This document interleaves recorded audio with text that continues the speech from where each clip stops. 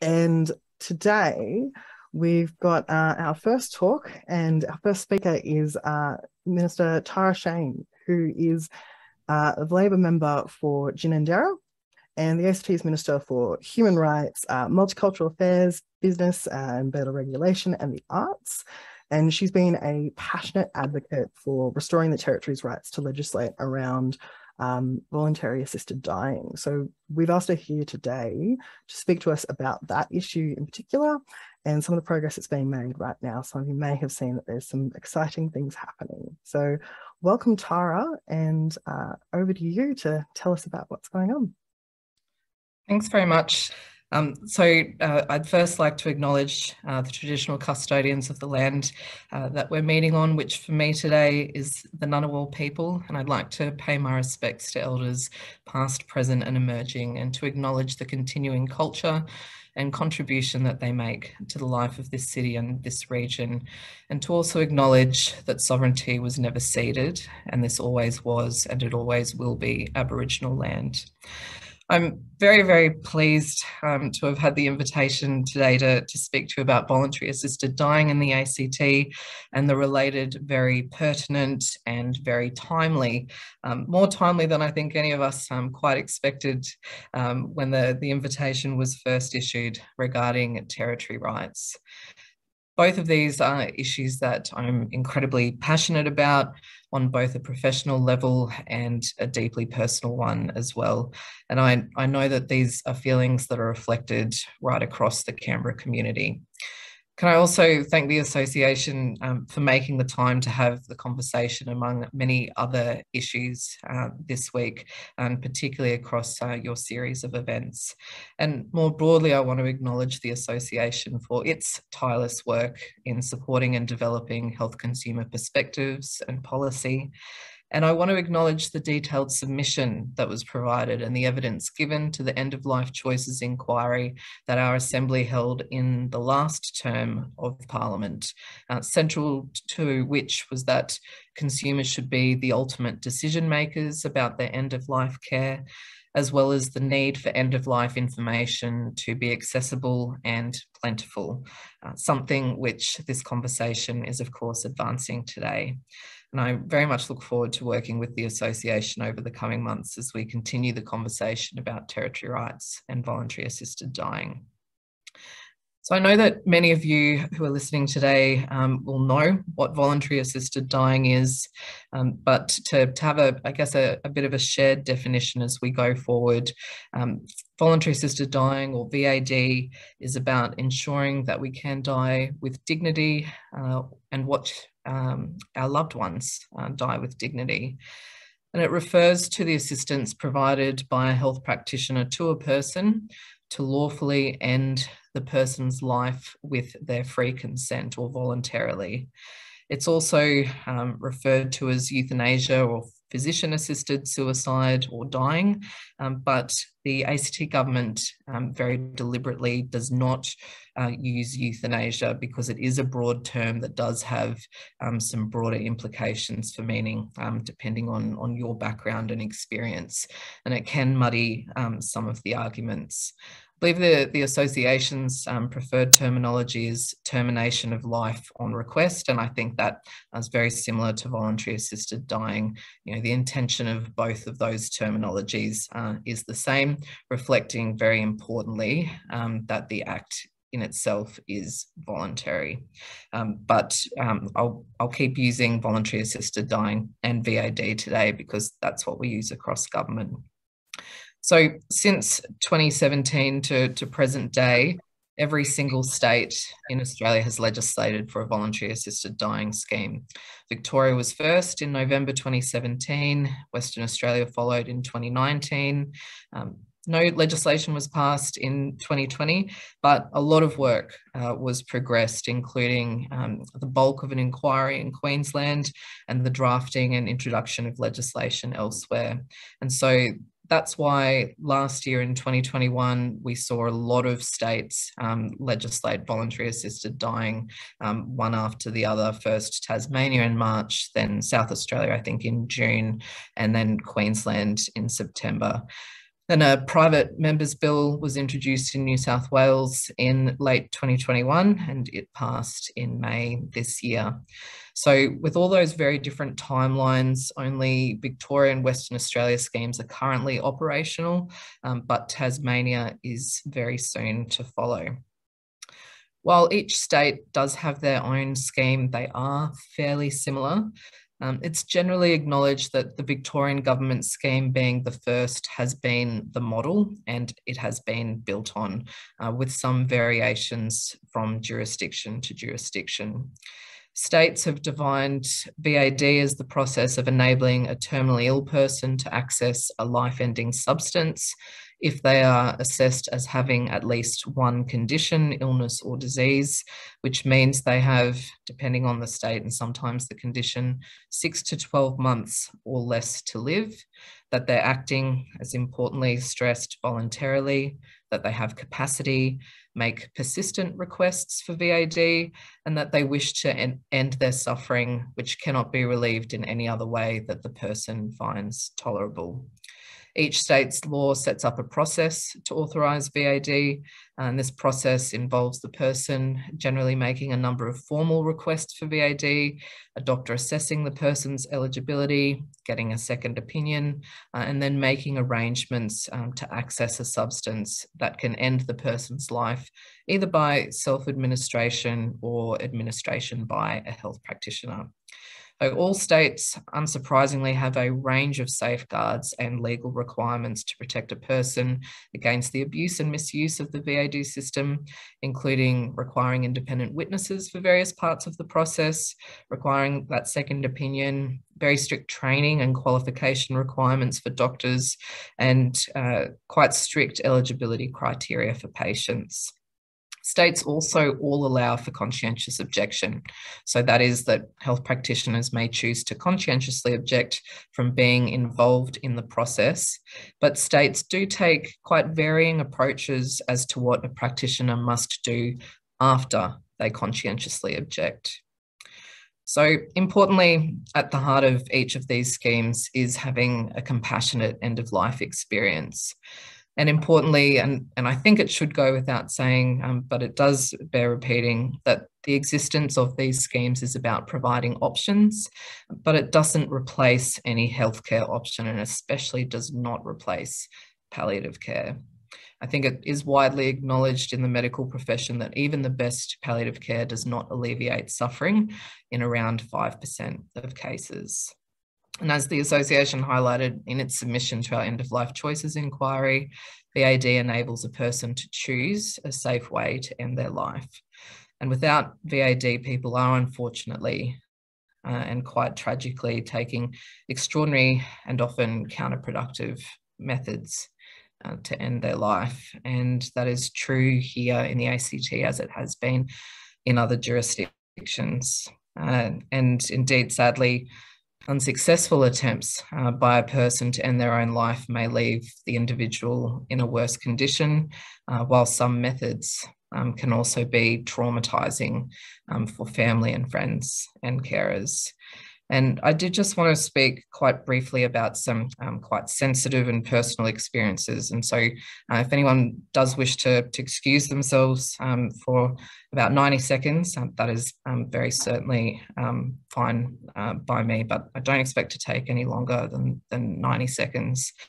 Um, but there are many conversations that I've had uh, with the community over um, many years. I've been a very public advocate for territory rights and voluntary assisted dying uh, before I was elected and, and especially after.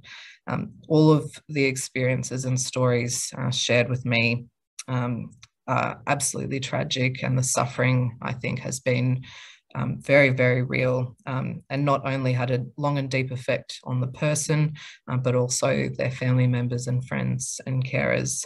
And apart from that very real suffering um, of, of all the stories that I've um, been in a very privileged position to be trusted with and, and heard, um, there are two that really stick in my mind, which illustrate some of the broader issues in the absence of a voluntary assisted dying scheme.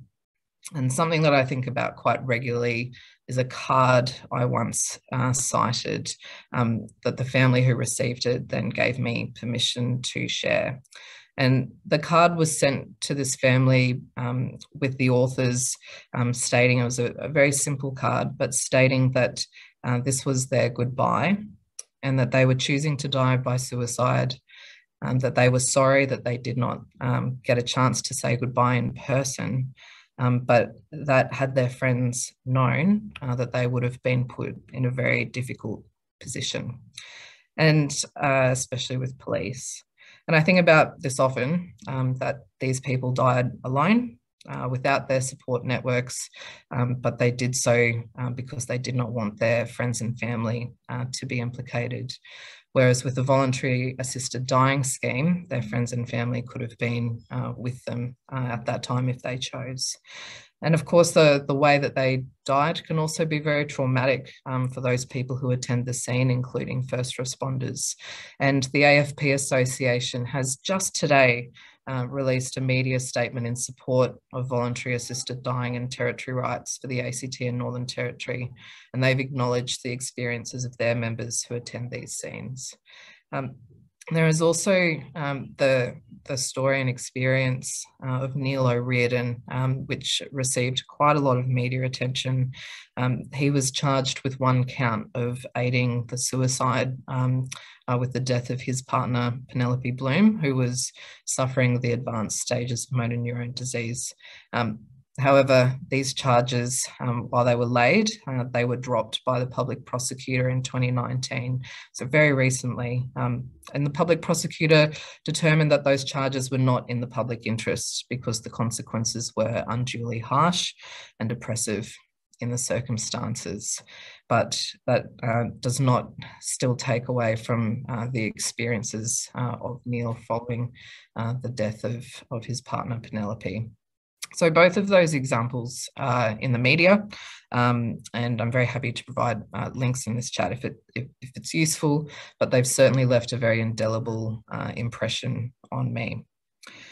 So that brings to me uh, brings me uh, to why we don't have a voluntary assisted dying scheme here in the ACT, even though we know there is very strong support, incredibly strong support. Um, more than 80% of ACT residents support voluntary assisted dying, and that's even um, above the vote that we achieved in the, the ACT for, um, for um, marriage equality, uh, which was the highest in the country. So voluntary assisted dying gets even more support um, than that for context. Um, and of course, um, given all states have legislated, why haven't we? And there is um, quite a lot of background uh, to this going back 27 years to 1995, which was when the Northern Territory became the first jurisdiction in the world, in the world uh, to introduce a legislated VAD scheme, uh, which was the, the rights of the terminally ill law. And in response to the passing of that law, Kevin Andrews, who was then the, the federal member for Menzies, indeed, uh, he's only just left Parliament in the House of Reps, he introduced a private member's bill, the Euthanasia Laws Bill, uh, in 1996 into the federal Parliament.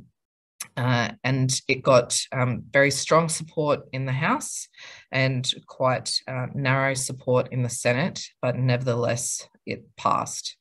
And this bill is um, widely referred to um, thus as the Andrews Bill, um, and it amended the ACT's and the Northern Territory's Self Government Acts. So um, this is getting into a bit of the, the technical detail, but it's important as to why we're different.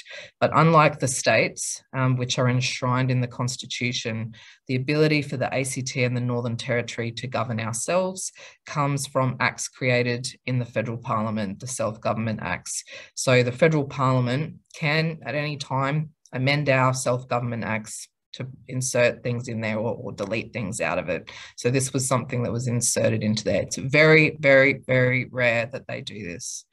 Um, so essentially what it did was it, it banned the legislatures of the ACT, the Northern Territory and Norfolk Island from passing any legislation uh, relating to voluntary assisted dying, uh, and it extinguished the Northern Territory's rights to the Terminally Ill uh, Act as well. So that ceased to exist. Um, so that bill passed in 1997, and here we are 25 years later with that ban uh, still in place. And I do think there is general acknowledgement that in 1995, the, the prospect of voluntary assisted dying was a lot uh, to contend with. But even with the federal laws which restricted us passing voluntary assisted dying in the territories, momentum continued to grow and grow from there across Australia. And there were 51 attempts to pass bills relating to voluntary assisted dying um, in, in the different states before Victoria was the first back in 2017. But all that time, territories have been fighting for our right to even consider uh, whether the community wants laws about voluntary assisted dying I'm very proud that the Northern Territory and ACT governments have been uh, continually advocating to restore our powers to legislate on this issue ourselves. And uh, I've been um, proud of my efforts as a, as a champion of this issue uh, over um, what's now become regrettably many years. Um, and I have used, I think it's safe to say, every mechanism uh, that has been uh, possibly available to me. Um, we've passed a remonstrance motion, which uh, damned essentially the Senate when they refused to um, give us our rights back in 2018. Um, that made history. We were the first um, parliament um, of any of the parliaments in the ACT to ever um, do that. Um, and I have to say that um, it was a very paternalistic response that we got from the Senate uh, in response back then.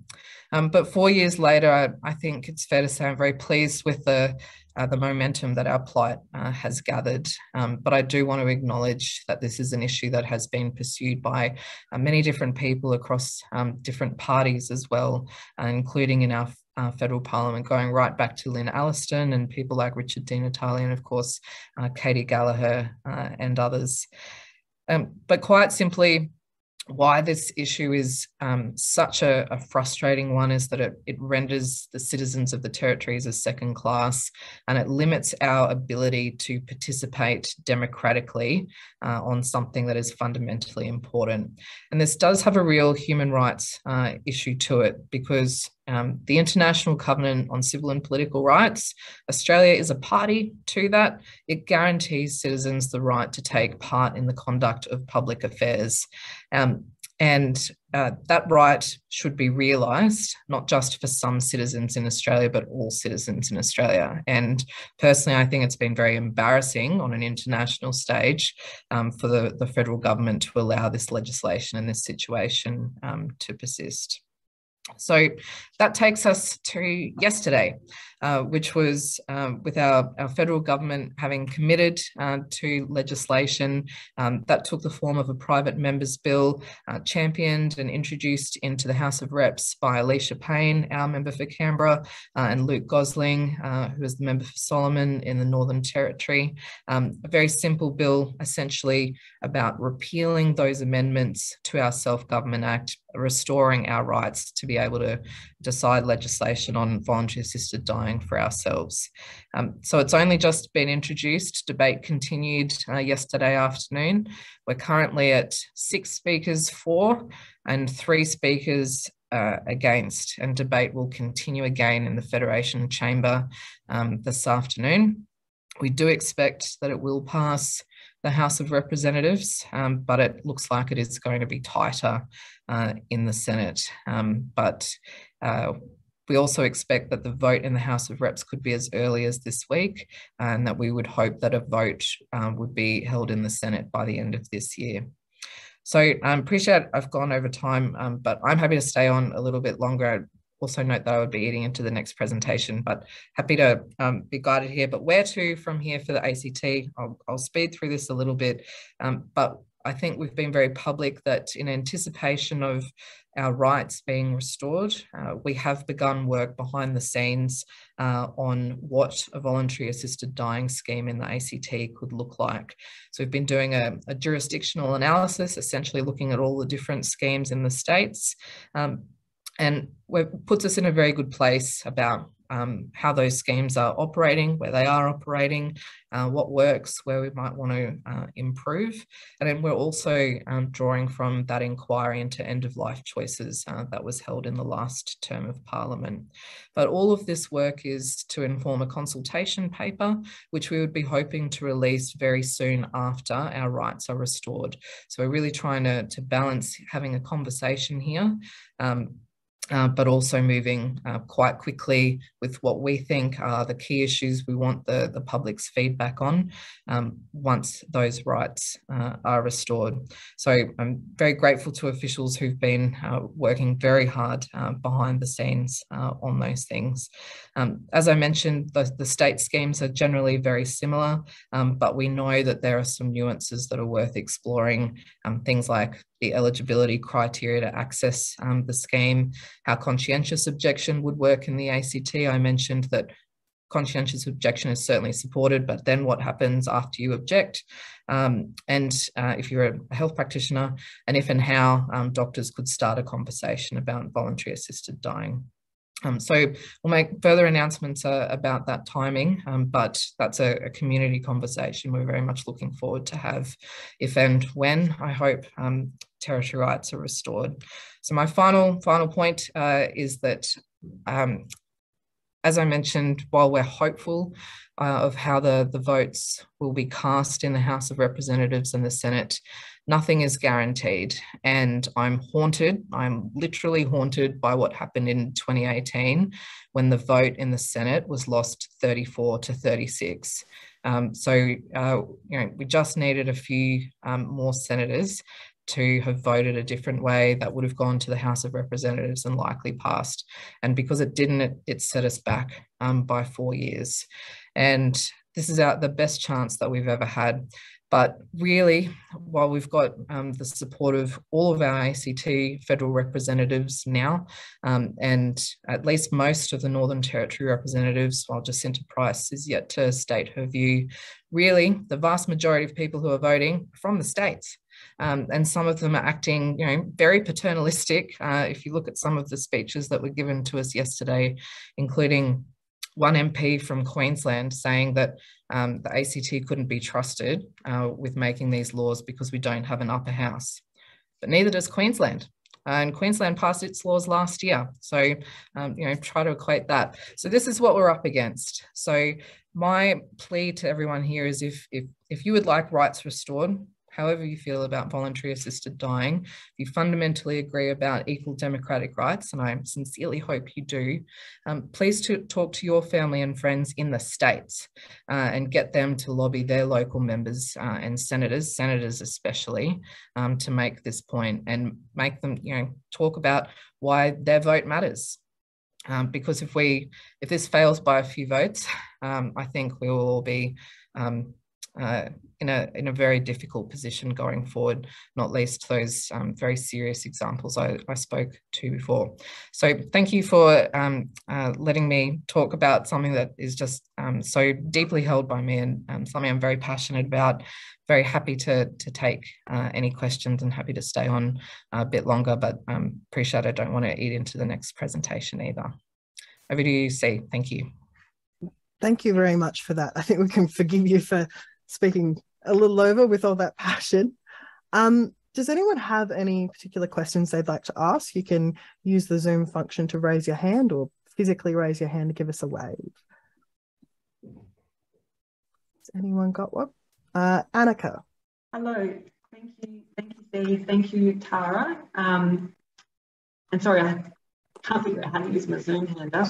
Um, Tara, I live in Darwin, so sort of absolutely what you're talking to obviously affects us here, very, you know, the same.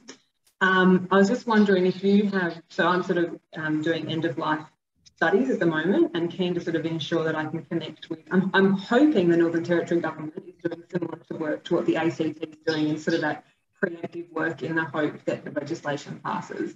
I was just wondering, do you have leading that from an NT government point of view who I might be able to connect with? Uh, yes, happy to, to talk to you um, yeah. uh, offline and, and provide that, but it, it would be led by um, the Attorney General, which is um, Chansey. Um, so, uh, and and um, uh, the previous Attorney General and I worked quite closely in our lobbying efforts, especially last year on, on the federal government. So that's where it would be.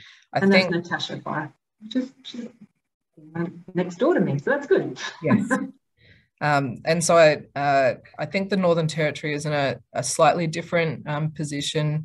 Um, you know, they did have an act, but I think they've made clear already that this wouldn't be an act that they would seek to just reintroduce as it was. Yeah. A lot has changed, so they would need to have that conversation again. And I know that they would. Um, there's very strong push to have a very long and, and detailed conversation with the Indigenous communities as well, which I know would be very, very welcome. Thank you. Thanks.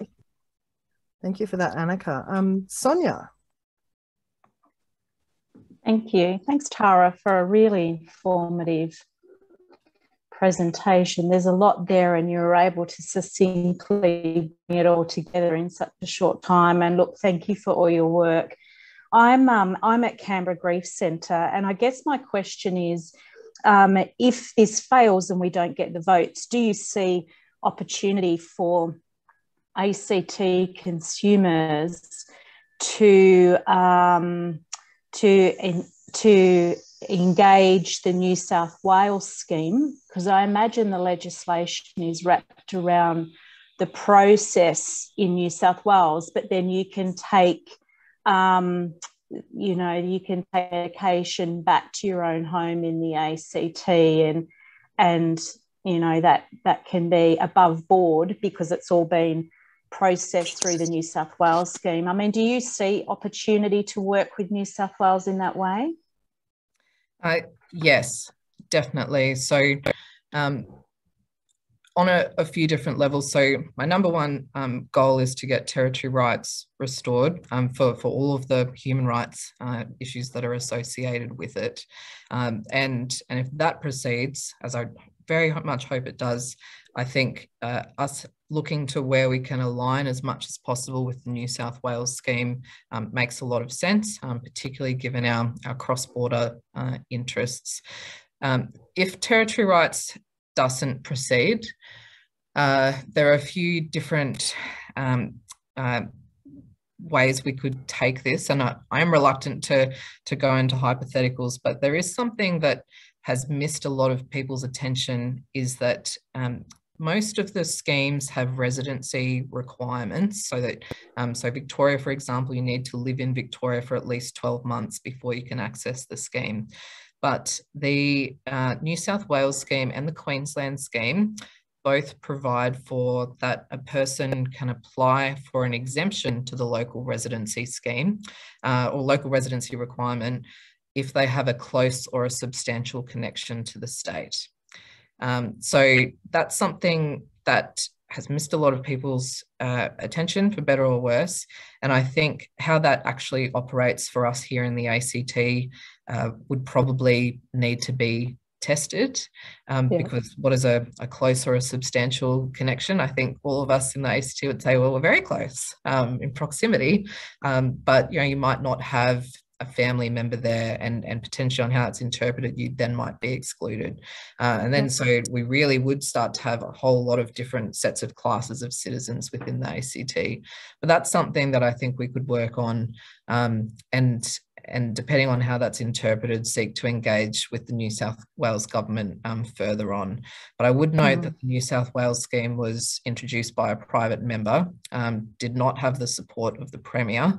Um, and so uh, engaging with the, the government uh, is a going to be slightly different conversation uh, with a, a, conservative government there. So yeah. essentially, there, there, are options um, available to us, but firmly focused on territory rights. Yeah, lovely. Thanks, Tara. Thank you so much, and a, a great question, Sonia. Mm. Are there any more questions from the group? I don't think I see any. Okay. Well, in that case, thank you very much, Tara, for, for that. That was really informative and really timely. And I think I speak for all of us to say that we hope that this progresses, um, well, the, the way that uh, you've said. So thank you so much for your time today, uh, acknowledging that it's a very busy one. And we'll move on to our oh. Thank you, Sue. Yeah.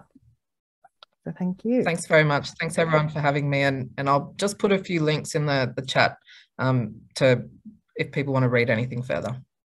Great. And I'll include those in the email out afterwards. Ah, brilliant. Thanks so much, everyone. Have a great day.